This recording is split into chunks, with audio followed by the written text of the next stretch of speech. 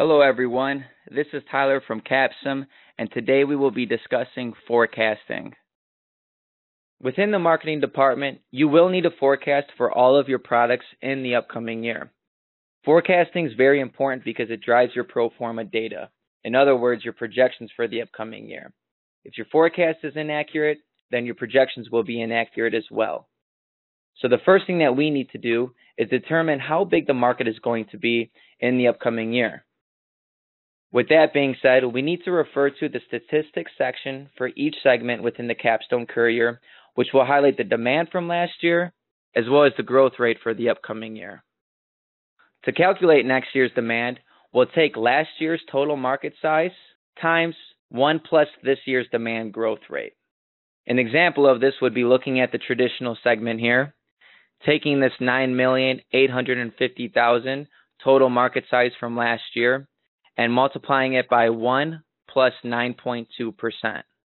That would give us a customer demand for the traditional segment at 10,756,000. Once we understand what the next year's demand is going to be, we can then start forecasting. The first forecasting method that you can use is called the potential market share forecast. With the potential market share forecast, you'll want to take new year's or the next year's customer demand which we just calculated in the previous slide, and multiply it by last year's potential market share. If you refer to page 10 within the Capstone Courier, this is where we provide all the market share information from the previous year. On the left-hand side, you have the actual market share, what actually happened in the market. And on the right-hand side is the potential market share. What should have happened if all things were equal? If nobody stocked out. So potential market share is typically going to be a little bit more accurate compared to the actual market share. But what we'll do is we would take the new year's customer demand times last year's potential market share, which I just shown on that page. An example of this would be taking that 10,756,000 number we just calculated in the previous slide times my potential market share, which is 9.8% which means my forecast for the upcoming year in the traditional segment would be 1,054,000 units. Another method that you can use for forecasting is called the customer satisfaction score forecast. You can find the customer satisfaction score on the bottom of each segment page in the bottom table all the way to the right.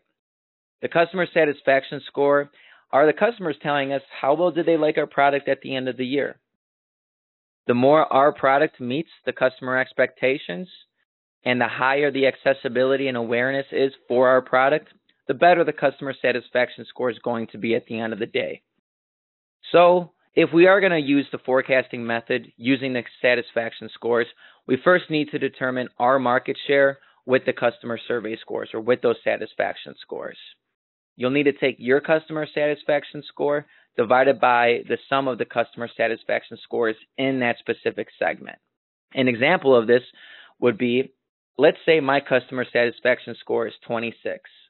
Including my satisfaction score and the others, there's 33, 29, 26, and 18. So if I take my satisfaction score divided by 106, the sum of the other scores, including mine, I get a market share of 24.5%.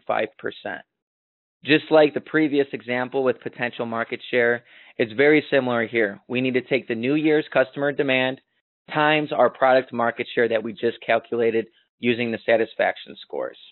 An example would be taking the 10,756,000 and multiplying that by 24.5%. In that case, my forecast would be 2,635,000 units in the upcoming year. Once you've forecasted for your products, and you've made the rest of your marketing decisions, you'll then need to go into the production department and produce the number of units needed to meet your forecast. We typically recommend that you produce about 10 to 15% more than your forecast to be prepared for the unexpected events that may occur in the upcoming year, things like stockouts. So in this case, my sales forecast is 1200 or 1.2 million, so I'll be producing 1.3 million for the upcoming year just so I'm prepared. It is okay to have some inventory because we could take advantage of opportunities like competitors stocking out. But we do want to be safe and not produce too much and end up with too much inventory at the end of the day. Forecasting will be the most difficult decision that you'll make on a yearly basis for your company. You may struggle the first few practice rounds with forecasting, but I recommend sticking to these methods. The more accurate your forecast is, the more likely your projections will be accurate for the upcoming year. I really appreciate you guys watching this. If you do have more questions about forecasting or your simulation in general, feel free to reach out to our support team. You can email us at support at capsim.com or you can also call us at 877 477 8787. Good luck with your simulation, and I hope you have a great time.